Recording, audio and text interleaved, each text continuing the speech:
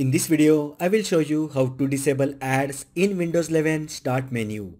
So let's get started.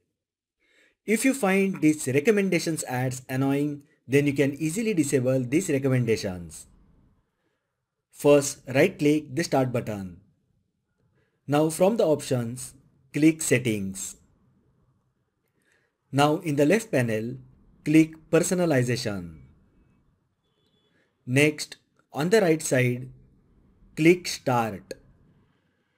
Here you will find an option Show recommendations for tips, shortcuts, new apps and more with toggle button.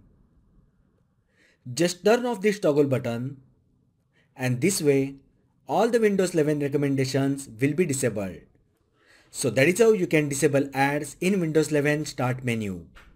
If you find the video helpful then like the video, share with your friends and subscribe to my channel.